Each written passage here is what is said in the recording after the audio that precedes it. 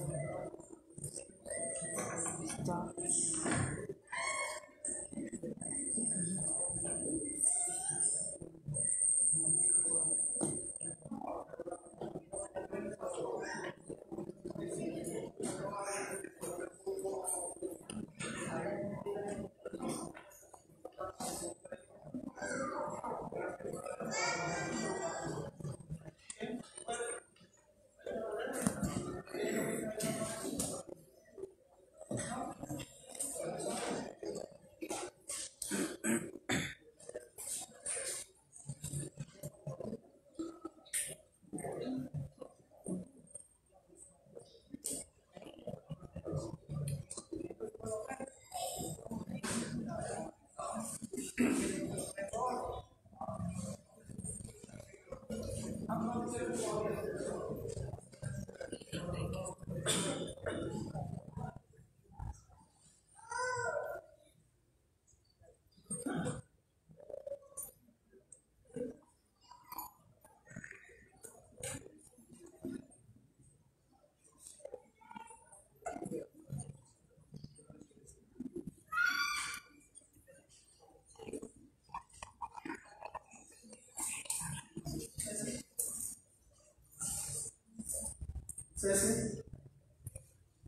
Buenos días y bienvenidos a nuestra comunidad parroquial de Santo Tomás de Aquino. Hoy celebramos el primer domingo de Adviento y el celebrante es el Padre Fidel.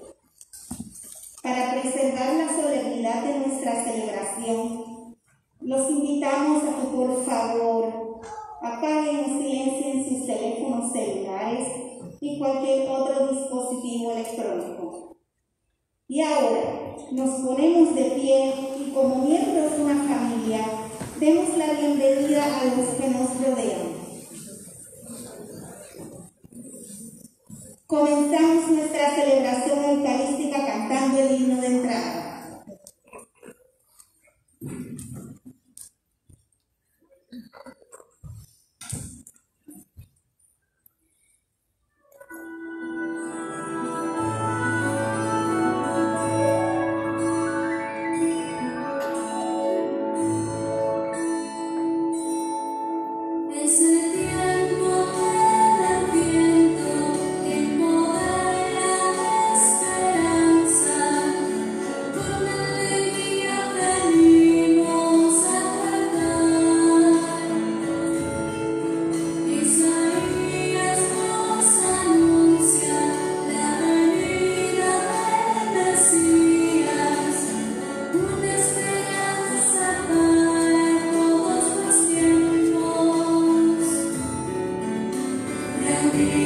Como iglesia en esperanza.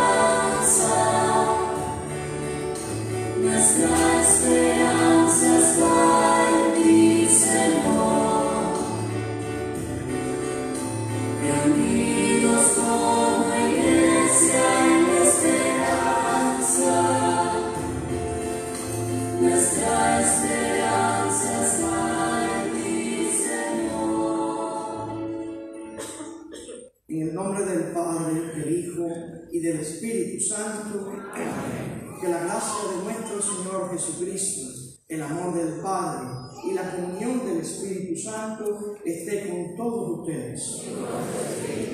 Queridos hermanos y hermanas, el nuevo año litúrgico comienza hoy con este primer domingo de Adviento, con el repetido llamado de Jesús a que velemos en espera de su regreso como juez glorioso al final de los tiempos. Pero también nos pide que seamos conscientes de su venida diaria entre nosotros, a nuestras vidas en las personas y acontecimientos que conmueven nuestra vida y que nos invitan a dar testimonio de la fe.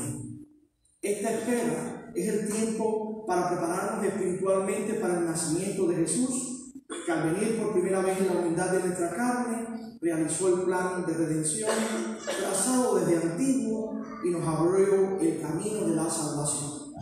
Por ello ahora, para prepararnos a celebrar dignamente estos sagrados misterios, reconocemos nuestros pecados y nos preparamos para celebrar los sagrados misterios de nuestra fe.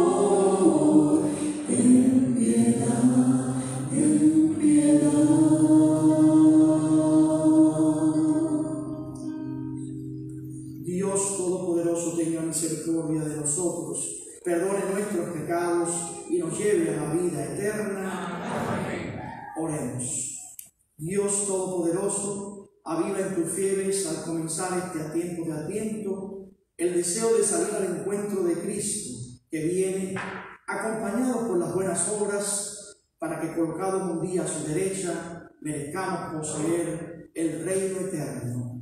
Por nuestro Señor Jesucristo, tu Hijo, que contigo vive y reina en la unidad del Espíritu Santo, y es Dios por los siglos de los siglos. Amén.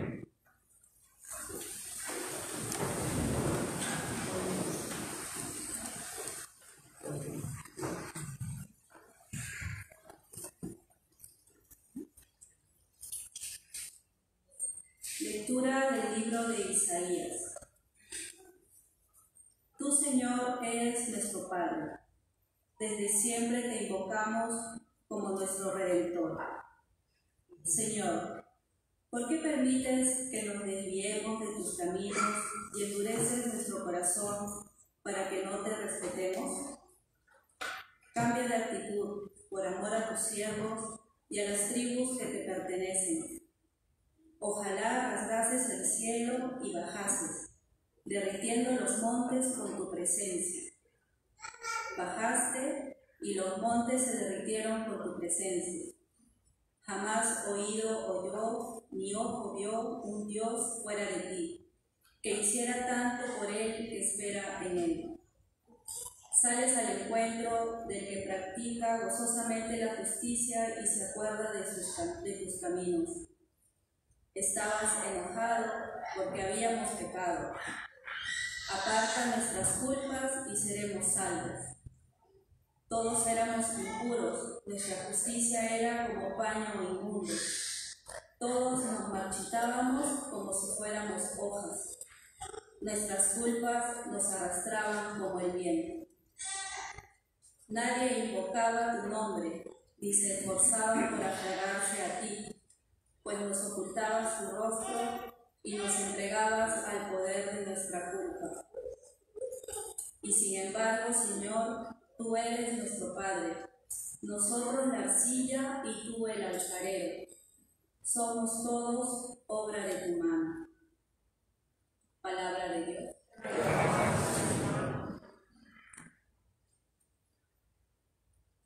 Salmo. Señor Dios nuestro, restauranos, que brille tu rostro y nos salve. Señor Dios nuestro, restauranos, que brille tu rostro y nos salve. Pastor de Israel, escucha. Tú que te sientas sobre querubines, resplandece. Despierta tu poder y ven a salvarnos. Señor Dios nuestro, restauranos, que brille tu rostro y nos salve. Dios de los ejércitos, vuélvete, mira desde el cielo, Fíjate, ven a visitar tu viña, la cepa que tu diestra plantó y que tú hiciste vigorosa. Señor Dios nuestro, restauranos, que brille tu rostro y nos salve. Que tu mano proteja a tu escogido, al hombre que tú fortaleciste. No nos alejaremos de ti. Danos vida para que invoquemos tu nombre. Señor Dios nuestro, restauranos, y que brille tu rostro y nos salve.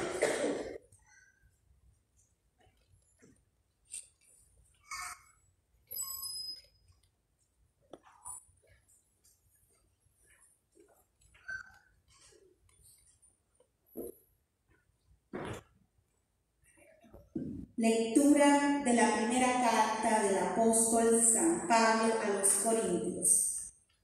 Hermanos, a ustedes gracia y paz de parte de Dios nuestro Padre y del Señor Jesucristo. En mi acción de gracias a Dios los tengo siempre presentes por la gracia que Dios les ha dado en Cristo Jesús. Pues por medio de él han sido enriquecidos en todo, en el hablar y en el saber. El testimonio sobre Cristo se ha confirmado en ustedes hasta el punto de que no les falta ningún don a los que aguardan la manifestación de nuestro Señor Jesucristo. Él los mantendrá firmes hasta el final para que no tengan de qué acusarlos en el día de la venida de nuestro Señor Jesucristo. Porque Dios es fiel y Él los llamó a vivir en comunión con su Hijo Jesucristo, nuestro Señor. Palabra de Dios. Te alabamos, Señor.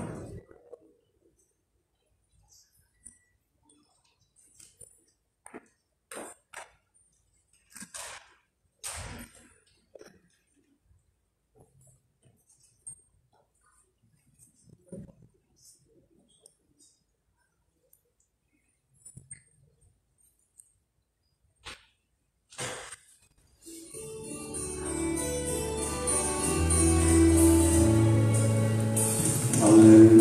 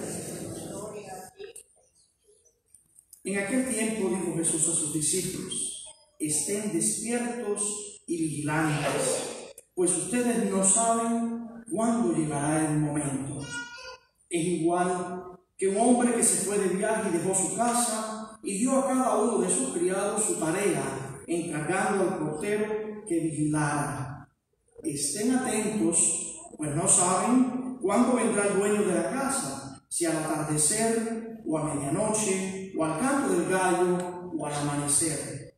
No sea que inesperadamente los encuentre dormidos. Lo que les digo a ustedes, se los digo a todos, estén vigilantes. Palabra del Señor. Pueden sentarse. Bien, queridos hermanos y hermanas, Comenzamos hoy el tiempo de Adviento. La palabra misma significa tiempo en el que alguien viene a nosotros. Y ese alguien no es cualquier alguien, es el mismo Dios que quiere venir a nosotros. Y no es que Dios venga una sola vez. Dios siempre viene al encuentro de cada uno de nosotros. Pero muchas veces nosotros en nuestra rutina, en nuestra situación cotidiana de vida, no nos percatamos, no percibimos esa venida. Quizás estamos tan acostumbrados a nuestra experiencia humana de que alguien viene físicamente, de que alguien viene y se nos hace presente delante, que se nos olvida que hay muchas formas de presencia. Este tiempo de Adviento, que consta de cuatro semanas, es un tiempo de preparación espiritual para nosotros encontrarnos con el Señor. Y es importante entender que la venida del Señor tiene como dos facetas, dos formas de, de percibirse. Una que es la que celebramos en Navidad cuando viene el Jesús, Dios, palabra de Dios hecha carne, que nace, y la segunda venida del Señor que va a venir al final de los tiempos. Quizás para algunos esta expresión del final de los tiempos suena extraña, pero no es el tiempo que va a destruirse la tierra ni la vida, no nada de eso. Es el momento en que Él va a venir, pero ya viene en una experiencia de personal en que nosotros nos vamos a encontrar con Él. Y fíjense que cada semana del tiempo de Adviento va a tener una palabra o una frase clave. Esta semana nos dice, estén alertas, estén vigilantes. La segunda semana nos dirá, estén despiertos. Quizás a alguno le suena eso, bueno, porque yo estoy despierto ahora. Bueno, a veces estamos despiertos con los ojos abiertos y no vemos la realidad que tenemos adelante y no vemos la presencia de Dios obrando en nuestras vidas. La tercera semana, que es el domingo de Gaudet, el domingo de alegría, el mandato es alégrense, llénense de regocijo. Y la cuarta semana, la última, la palabra será contemplen, miren al que viene. Fíjense ustedes, queridos hermanos y hermanas, que para nosotros lo mejor estar alerta es tener insomnio o no sé qué, estar de guardia. Pero como actitud de vida, hay tres formas, y también como actitud de fe, hay tres formas o modos de estar alertas. La primera forma de estar alerta y preparado para la venida del Señor es estar alerta a la llamada que Dios nos hace para que nos hagamos presentes a los otros. ¿Cómo entendemos esto? Y yo voy a utilizar una frase de Santa Teresa de Jesús, la gran santa española, mística española, para entender cómo es esta llamada. Y Santa Teresa decía, Jesucristo no tiene un cuerpo material ahora en la tierra, pero tiene el de ustedes. No tiene pies, pero tiene las piernas de ustedes. No tiene ojos, pero mira a través de los ojos de ustedes con compasión a la realidad del mundo. No tiene pies para caminar, pero camina a través de ustedes para hacer el bien. No tiene manos físicas, pero sus manos son esas con las que ustedes bendicen a la humanidad. No tiene voz, pero la voz de ustedes es la voz que usa para transmitir su perdón y sus palabras de amor. Y su corazón es el corazón de ustedes cuando ustedes lo aman a sus hermanos. O sea que esta primera llamada, esta primera forma de estar alerta, es esa llamada, como decía yo, que el Señor nos hace para que hagamos presente a nosotros en el mundo a través de nuestra vida, de nuestro testimonio de fe, de nuestras acciones, de nuestras palabras. Yo siempre le he recordado a ustedes que cuando era mucho más joven, que todavía no era ni sacerdote. Yo recuerdo una canción del grupo carismático que había en Cuba, que me imagino que quizás también la cantará, y es que decía, mis manos están llenas de tus bendiciones, al hermano que toque, bendito será. Mis ojos están llenos de tus bendiciones, al hermano que mire, bendito será. Mis labios están llenos de tus bendiciones, a la persona que le hable, bendecida será. Y este es el sentido de esta primera forma de estar alerta. Es qué actitud de vida asumimos para cumplir o responder al llamado de Dios que nos invita a hacerlo a Él presente en la vida de los otros a través de nuestra vida. Esa es la primera forma de estar alertas que el Evangelio de Dios nos invita. ¿Mm? Porque a veces vivimos tan concentrados en nuestra propia realidad que nos olvidamos de que hay gente que están peores que nosotros, que están sufriendo, que están en necesidad. Y solamente nos preocupamos por mis necesidades, por lo que yo quiero, por lo que yo deseo, por lo que yo espero, por lo que yo necesito. Y se nos olvida que hay gentes que no tienen quizás ni lo mínimo que tenemos nosotros para vivir. Muchas veces nosotros nos quedamos, bueno, pero que imagina, yo soy pobre, yo no tengo. Óigame, si nos damos cuenta cuán bendecimos somos, cuando bendecimos somos, nos daremos cuenta que no somos pobres y que hay gente que está peor. Hay gente que no tiene ni Dios, no creen en Dios, no tienen fe. Nadie les ha hablado de un Dios de amor ni le ha transmitido la presencia de ese Dios de amor con su propia vida.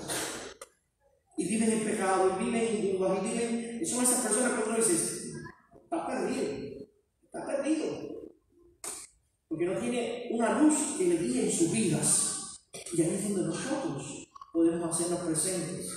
No para decirles cómo tienen que vivir ni qué tienen que hacer, sino para expresarles a través de nuestra alegría, de nuestra esperanza, de nuestro amor, que la vida de ellos tiene sentido. Y cuando ellos pregunten cómo esta persona vive de esta manera alegre, feliz, esperanzada, se darán cuenta que es porque nosotros tenemos a Dios en nuestra vida. Y hay gente en el mundo sola, que se siente abandonada, marginada, que no tiene nadie en el mundo que rece por ellos, que se preocupe por ellos, que por lo menos piense en ellos. Y ahí es donde está el papel de nosotros, los seguidores de Cristo, los cristianos, que nos llamamos cristianos católicos, para orar por ellos y para mover y hacer la diferencia en el mundo en el que vivimos. La segunda forma de esta llamada a estar alertas que el Señor nos hace es esa forma de estar alertas para viendo la realidad que nos rodea y viendo los cambios y las situaciones que suceden alrededor nuestro, nosotros nos demos cuenta qué cambios tenemos que hacer en nuestra vida para que nuestra vida sea un mejor reflejo de ese Dios que nosotros confesamos. Y esto es muy importante. Quizás yo siempre me refiero a la realidad de hoy, al coronavirus. Señores, hay tantas personas asustadas, aterrorizadas porque puedan enfermarse, porque se puedan morir. Y muchas veces yo lo digo y ustedes quizás no, no se percatan de lo que yo estoy hablando. Es bueno que estemos informados, vivimos en el mundo de la información. ¿eh? Pero hay que saber discernir cómo interpretar esa información y esa realidad que está frente a nosotros. Desafortunadamente, desafortunadamente digo porque no debería ser así. Los medios de comunicación, los medios de información y todo lo que tenemos de, de fuente de información vive más para vender miedo que para veces que para dar esperanza. ¿No se han dado cuenta de eso? Y lo digo, y ustedes cuando lo he dicho se ríen. Lo digo simplemente incluso por los anuncios publicitarios que ponen en el televisor. ¿eh? Y te dicen,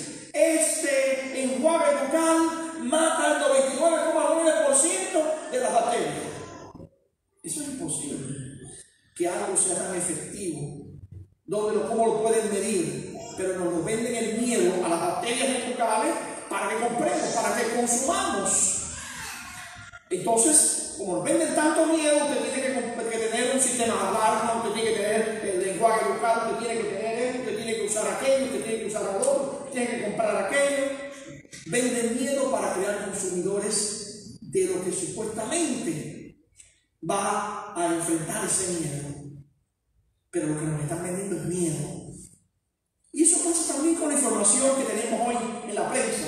Te ponen ahí, en la Florida, hay hoy 30 mil más contagiados. Imagínate, tú dices, estamos fundidos, nos vamos a morir todos.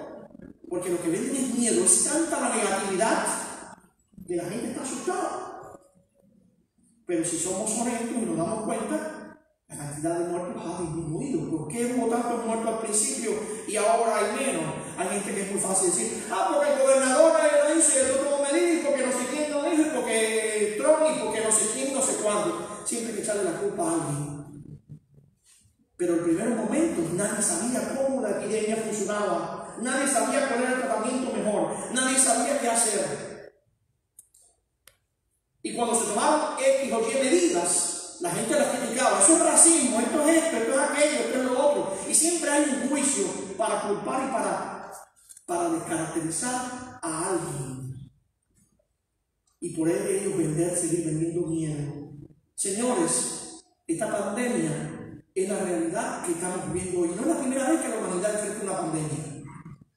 Y hoy tenemos más recursos que los que tuvieron en el siglo XVIII, XV, XIV, XIII, con la pandemia del cólera, la peste negra, toda esa pandemia. Como historiador, yo, por ejemplo, he tenido que investigar la, epidemia del cólera de 1832, que, fue tremenda en Nueva York y todos los Estados Unidos. Pero no se sabía cuál era la causa. Y los tratamientos, usted oye los tratamientos que usaban para el cólera se ríen. Porque tú dirás, eso tenía que ver con el cólera. Porque no había conocimiento. Y había sido el cólera primero en Europa, y en Europa habían tratado de resolverlo y nada. Hicieron lo que buenamente pudieron, pero murieron miles de personas. Hoy tenemos muchos más recursos, pero toma un tiempo para saber, porque una misma enfermedad, un mismo virus muta. Y lo que sirve para este caso no sirve para el otro, lo que sirve para este no sirve para aquel. Entonces, hay que tener confianza. Y ustedes dirán, ¿cómo podemos confiar en Dios en este momento? Ah, porque Dios inspira sabiduría en los científicos, en los médicos, en la gente que está para que observe, para que analice los síntomas, las formas de presión, las formas de eso, y ver qué cura puede ser posible. Y se dan cuenta que quizás la cura que usaron en la pandemia que hubo en África hace poco de ébola, que gracias a Dios aquí no llegó a afectarnos, saben que eso puede tener cierto efecto, que pueden ayudar en esto. Y van mirando, porque en la ciencia y en estas realidades desconocidas, los dolores son falsos, no siempre son falsos. Pero hay que tener confianza, hay que tener fe. Y mucha gente dice fácilmente, pero es que ha habido tantos muertos. Cuando hay algo desconocido, hay riesgos que pasar. Desafortunadamente hubo gente que pensó una cosa que era correcta y no funcionó. Pero eso forma parte del proceso de aprendizaje que supone error y acierto. Y error, te equivocas en una cosa y buscas otra solución. Y en, esta, en esa desafortunada epidemia ha sucedido que hay personas que han muerto. Hoy quizás con todos los elementos que se tienen hoy, no los que se tenían en enero o en febrero, sabemos que se pueden evitar muchos más muertes. En primer momento no pudo ser. Pero si seguimos con esa negatividad, si seguimos con esa, eh, eh, eh, dependiendo veces de esa venta de miedo, pues no podemos tener una actitud positiva, tomar buenas decisiones. Y esa es esta, esta, segunda, esta segunda vía de estar alerta es esa es ver cómo podemos nosotros realizar cambios, adiciones necesarias que puedan cambiar nuestra vida y nos puedan seguir ayudando a dirigirnos en nuestro camino hacia Dios. Y esta es una realidad que tenemos que verla no solo por la epidemia, sino con cualquier proyecto de vida, con cualquier situación que vamos a hacer, con cualquier decisión, tenemos que ver, esto es realista, como es esto, tenemos que orar, tenemos que pedir sabiduría, tenemos que consultar con el que sepa, tenemos que pesar los pros y los contras antes de tomar una decisión. Esa es otra forma de estar alerta. Cuando somos capaces de, con calma, con paz, con confianza en Dios, ser capaces de evaluar la realidad para ajustar, hacer los cambios necesarios y ajustar la forma de actuar para poder tomar las mejores decisiones. Esa es la segunda forma de estar alertas. La tercera forma de estar alertas, ustedes lo han visto aquí en la iglesia, empezamos con una presencia mínima. Primero se suspendieron las misas, después un 25%, ahora estamos en el 50%. Esperemos que muy pronto podamos estar al 100%, pero no es el momento todavía. No se puede uno apresurar en una medida o en otra. Hay que darle y seguir el progreso del proceso. Y esta es una forma de estar alertas. Esto es importante. La tercera forma de estar alertas es quizá la que nos cuesta más trabajo entender a todos nosotros. Forma parte de un poco de la segunda y de la primera. ¿Por qué? Porque esta tercera vía para prepararnos es para prepararnos en el momento no en que el Señor viene a nosotros, sino que el que Él nos llama para que vayamos a Él. Y yo he estado hablando de esto las semanas anteriores. En una forma un poco complicada de alerta que asusta, pero tenemos que ser realistas. Porque todos quisiéramos quizás vivir hasta los 100 o los 120 años, pero no es realista. Sabemos que el cuerpo va decayendo, que el cuerpo va perdiendo fuerza, que el cuerpo, un hombre de 100 años un hombre de 100, es un hombre de 50 o de 40 o de 30 o de 20. Y hay que ser realistas. A veces quizás ser realista suena un poco cruel. ¿Mm? Suena un poco cruel. Porque dice, bueno, imagínate, yo sé que hay que morirse, pero yo quisiera no poner el muerto, que el muerto lo ponga otro. Yo no quisiera morirme tan joven, yo quisiera poder realizar todos mis proyectos. Y el profeta Isaías nos habla por boca de Dios dice, mis planes no son sus planes, mis caminos no son sus caminos. Y hay que saber aceptar la realidad de los límites de la vida, que a veces no somos capaces de aceptarlos. Nos cuesta trabajo aceptar los límites de la vida. Y cuando uno no acepta los límites de la vida, sin darse cuenta puede estar dudando del amor de Dios. Pensé. ¿Cómo Dios va a querer que esta persona muera? No, Dios no quiere que nadie muera. Y por eso Dios envió a su único Hijo, que se entregó por nosotros en la cruz, para mostrarnos el camino, que no hay que tenerle miedo a la muerte, porque la muerte no es el fin de nuestras existencias. La muerte es solamente la puerta que nos conduce a otra vida, a la vida que llamamos eterna. Hace poco yo hablaba atrás del famoso cántico de la criatura de San Francisco. ¿Se recuerdan? Hace dos semanas tres atrás. Y San Francisco, un hombre que tenía no solo la inteligencia y la sabiduría humana, sino que también era un hombre de Dios, muy enraizado en Dios, llamaba a la muerte la hermana muerte. Pero la cultura y la educación nos han hecho pensar que la muerte es una desgracia. Y como somos seres humanos, cuando vemos para buscar la realidad que, que vemos frente a nosotros, nos quedamos muchas veces en las apariencias. Imagina que fue un choque tremendo, salió apachurrado, murió en, un accidente de carro. Hubiera muerto en un de carro, hubiera podido morir tropezando, bajando los darse en la cabeza. No es la forma, es la realidad concreta. Si ese era el momento en que iba a reunirse con Dios, cualquier forma que apareciera, era lo mismo. Pero nos cuesta trabajo entender eso. Es como si estuviéramos tan apegados a la vida que no quisiéramos soltarla, como si fuéramos dueños y estuviéramos en control. Y muchas veces decimos, ay, pero fue una negligencia médica. Bueno, sí, fue una negligencia médica. Yo conozco gente que se ha tirado de un balcón de 10 pisos y nada más se han hecho tres ragones y otro que se ha caído de un, de un escalón y se ha muerto. Entonces, no es la apariencia la que define eso, pero nosotros nos quedamos mirando las apariencias de las cosas. Imagínate, estuvo entubado y estuvo sufriendo. Dios nunca permite que esas cosas pasen, aunque nosotros aparentemente veamos a la persona convulsionada, es la reacción del cuerpo a esa situación concreta. Y nos cuesta trabajo hablar de la muerte. Pero esta tercera forma de estar alertas es estar preparados porque nadie sabe ni el día ni la hora. Y alguna vez lo he comentado aquí. Yo particularmente no estoy pensando en la muerte, pero si llega, bienvenida sea, porque ese es el momento que ya me voy a encontrar con Dios, no solo con Dios. Me voy a encontrar con mi padre, con mi madre, con mi hermano, con mi tío, con toda mi familia, que yo sé que están con Dios, no están en un lugar perdido, están junto a Dios. Y yo quiero reunirme con ellos, no me voy a tirar delante de un camión para que me maten, porque probablemente quede vivo y quede deshabilitado. Porque eso así, si no es mi momento, no va a ser mi momento. Pero yo espero confiadamente que en el momento que Dios me llame y quiero estar preparado para ese momento. Y estoy alerta con eso.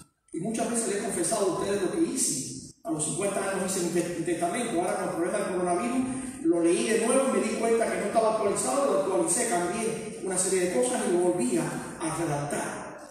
Y a los 55 preparé, eh, bueno, yo hice mi testamento y mi abuelo. A los 55 preparé y dije, mira, es muy difícil que otra persona tome decisiones por mí. Y yo estoy acostumbrado a ir al hospital y ver que son cinco hijos, y entonces uno quiere que lo desconecten, el otro dice que no, que todavía no, el otro dice que lo quieren cremar, el otro no, que quieren internarlo de cuerpo entero, el otro que, que celebra misa y el otro que dice yo no soy creyente, yo no quiero que haya misa, no, no quiero que haya misa para la muerte de mi papá o mi mamá. Entonces, es difícil que otra persona tome decisiones por mí. Y tenemos que estar preparados. Ya yo preparé todas mis decisiones, mi will of life, mi testamento. Y a los 55, para pegar más, dije, como nadie sabe cuáles son los cantos que me gustan, las lecturas que me gustan, y se recogí todas las lecturas las canciones, todo para mi funeral. Ya lo preparé. No estoy pensando en morirme, pero estoy preparándome para ese momento. Y nosotros los hispanos a somos muy vitalistas. No, no, no, no, no voy a preparar nada, no, no voy a hacer nada. Pero después la familia, al momento del entierro, tiene que pagar 5 mil, 10 mil pesos de gasto de un funeral. Nos cuesta trabajo decir, bueno, vamos a hacer un plan, ¿eh? vamos a comprar un terrenito, se paga de a porciones, de cuotas, y ya yo estoy preparado, mi familia no tiene que cargar con la cruz de ese gasto.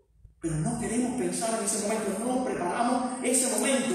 Y no estoy hablando de las personas mayores, estoy pensando también en las personas que son jóvenes. Y no estoy hablando de un joven de 15 años, no tiene que preocuparse por eso, no es el momento para él. Pero ya una persona adulta, de cierta edad, cada uno tendrá que ver cuál es el momento en se prepara. Debería estar alerta para ese momento en el que el Señor nos va a llamar a su presencia. Esa es la tercera vía de estar alertas, estar preparados, poner nuestros asuntos en orden. ¿eh? Hay gente que vive la vida improvisando. Ah, no importa, ya mañana se verá. Ah, no importa. Y cuando pasan los problemas, entonces no van a sufrir la familia tanto porque se murió, sino por las deudas y los problemas que le dejó. ¿eh? Entonces no pensamos en el futuro. Vivimos y damos la vida por concedida, garantizada. Y no, no, si mundo, ahora la esperanza de vida ahora es 85, 90 años. Yo porque me tengo que morir antes. No, no, yo estoy pensando en eso. 85, 90 años. Y no me importa, no voy a preparar nada. Que se joroben el que venga atrás de mí, que se ocupe de los gastos de funeral y de todo. Y yo no estoy tirando estos jarranas, pero estoy hablando en serio. Hay que estar preparados. Y en este tiempo coronavirus, que, que es tan, digo yo, impredecible lo que pueda pasar, tenemos que estar preparados para que cuando el Señor nos llame podamos ir a su presencia en paz, con calma, con amor, con confianza y no dejar a nuestra familia en una situación desesperada. Muchas veces yo comento aquí cuando hablamos de, de los pobres y los ricos clave de, la fe y digo, no, espérense, los ricos no que tienen dinero y los pobres no que no lo tienen. Porque hay pobres que tienen mentalidad de millonario y se pasan la vida pasando el tarjetazo y después pagando el mínimo payment y tienen una deuda no se dan cuenta que pagan 10 veces más de lo que cogieron en el crédito. Yo no entiendo un pobre que tenga 10 tarjetas de crédito, no lo entiendo. Eso es un pecado mortal contra sí mismo y contra la familia. Y hay gente que vive así, ah, no importa, ah, no sabe, se tira bueno, el capitalismo es el crédito y eso es dinero invisible que lo paga después si me muero que lo pague otro. Y no nos damos cuenta que esa mentalidad es peor que la de un millonario. Porque somos pobres y a veces muertos de hambre y tenemos ínfulas de millonarios. Y eso es- no es pobre, eso es, es una persona equivocada, no es un pobre, es un equivocado. Y muchas veces lo justificamos, "Ay, padre, imagínate, son gente que no tiene nada ni fácil, que entendió todo. Sí, pero no, papi.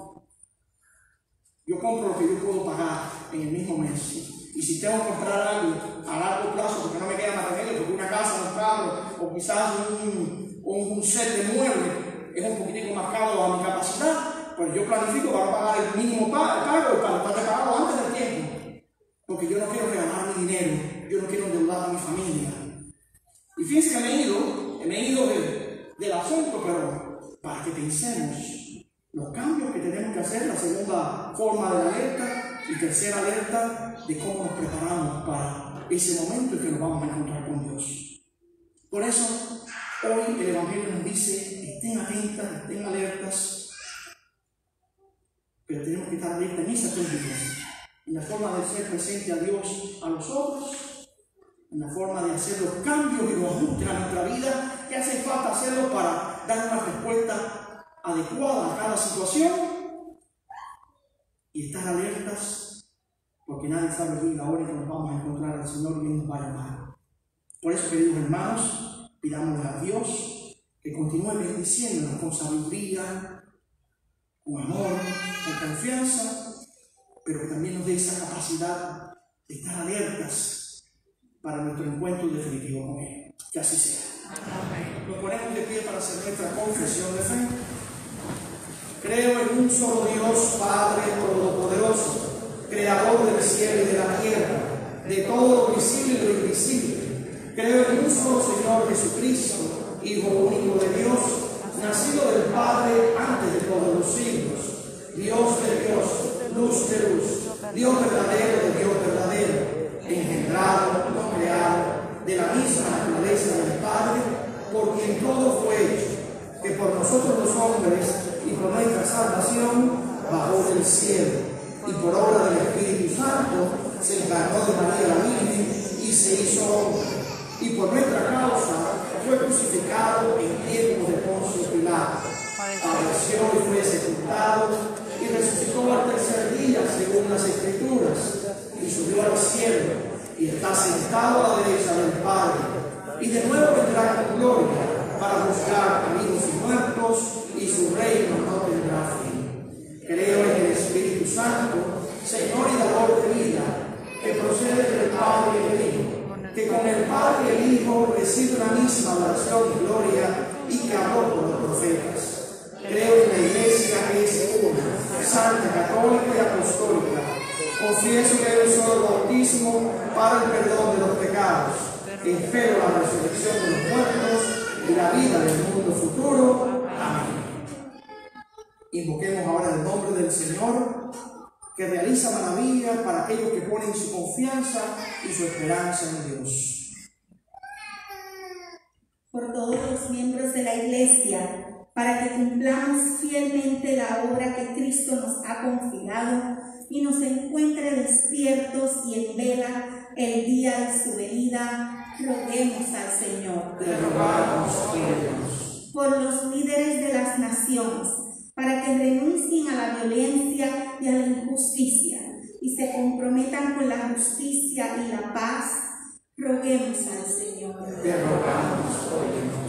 Por los que se han alejado de los caminos de Dios y están agobiados bajo el peso de la culpa, para que en este tiempo de adviento puedan percibir la luz del perdón que irradia del rostro de Dios, roguemos al Señor rogamos, por los que no tienen techo y carecen de alimentos y de amigos, para que experimenten la generosidad de nuestra comunidad, roguemos al Señor. Te rogamos, Dios.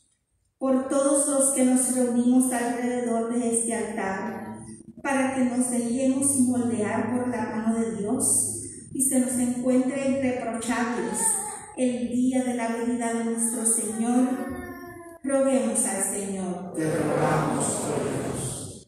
por todos nuestros seres queridos difuntos y hoy especialmente pedimos por Enrique Rodríguez, para que Dios le conceda el descanso eterno prometido, roguemos al Señor. Te rogamos, oh Dios. En un momento de silencio, elevemos todas las intenciones que permanecen en lo profundo de nuestros corazones y unámosla a las de la Santísima Virgen María. Roguemos al Señor. Te rogamos, Dios. Oh Dios, siempre fiel, nosotros somos el barro y tú nuestro alfarero.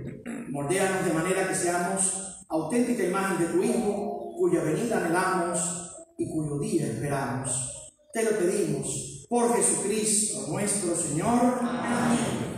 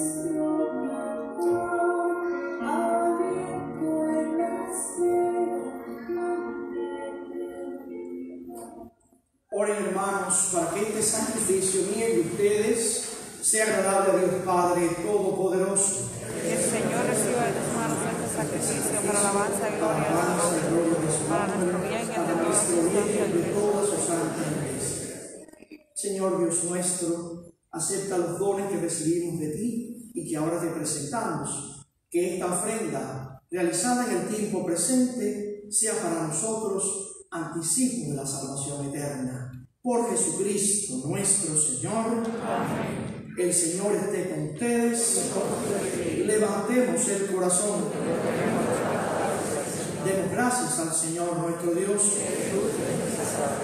En verdad es justo y necesario, es nuestro deber y salvación, darte gracias siempre y en todo lugar, Señor Padre Santo, Dios Todopoderoso y Eterno, por Cristo Señor nuestro, porque Él vino por vez primera en la humildad de nuestra carne para realizar el plan de redención trazado desde antiguo, y así nos abrió el camino de la salvación, para que cuando venga por segunda vez en el esplendor de su grandeza, podamos recibir los bienes prometidos que ahora guardamos en vigilante espera. Por eso, con los ángeles y los arcángeles y con todos los coros celestiales, cantamos sin cesar el himno de tu gloria. Santo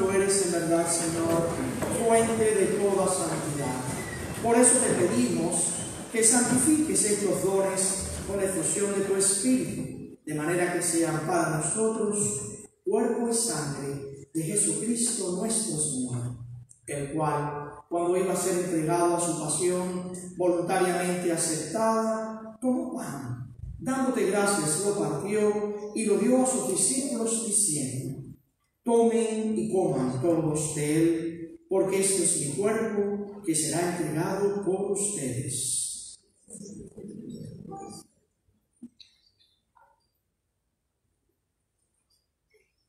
Del mismo modo, acabada la cena, tomó el cáliz y dándote gracias de nuevo, lo pasó a sus discípulos diciendo, Tomen y beban todos de él, porque este es el cáliz de mi sangre, sangre de la alianza nueva y eterna, que será derramada por ustedes y por muchos para el perdón de los pecados. Hagan esto en conmemoración mía.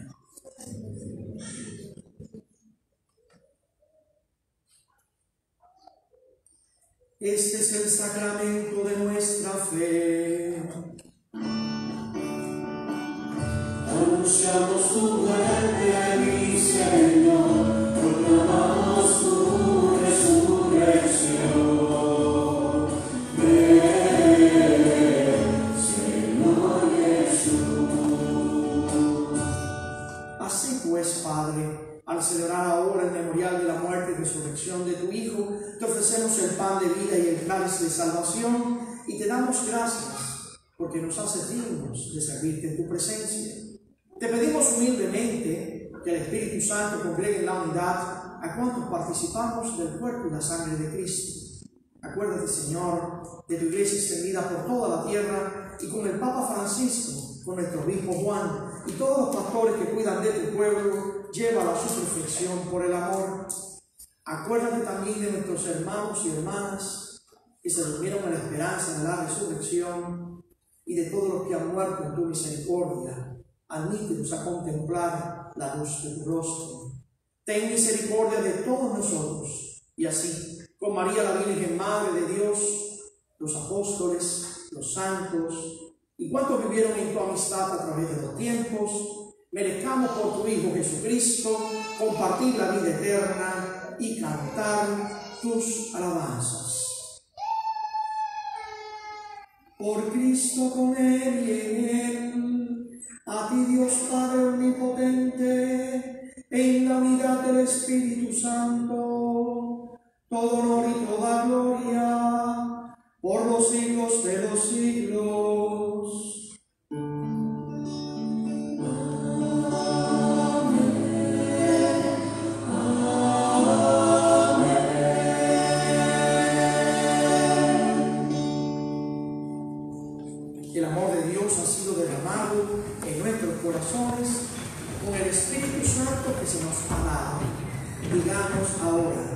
Fe y esperanza, Padre nuestro que estás en el cielo, santificado sea tu nombre. Venga a nosotros tu reino. Hágase tu voluntad en la tierra como en el cielo. Danos hoy nuestro pan de cada día. Perdona nuestras ofensas, como también nosotros perdonamos a los que nos ofenden. No nos dejes caer en la tentación y líbranos del mal. Líbranos de todos los males, Señor, y concédenos la paz nuestros días, para que, ayudados por tu misericordia, vivamos siempre libres de pecado y protegidos de toda perturbación, mientras esperamos la gloriosa venida de nuestro Salvador Jesucristo.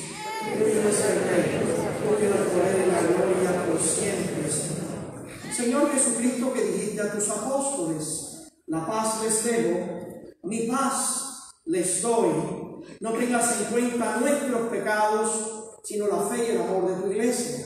Conforme a tu palabra, concede la paz y la bondad. Tú que vives y reinas por los siglos de los siglos, que la paz del Señor esté siempre con todos ustedes.